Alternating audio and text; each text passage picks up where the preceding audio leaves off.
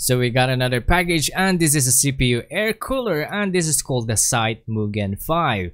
This has a very good rating at Amazon so I figure I should get one to replace my current AIO cooler which is not really performing very well. It's idling around 40 to 44 C and goes as high as 80 to 90 C during rendering. Well, we're going to unbox this very soon and test it out, so subscribe for part 2.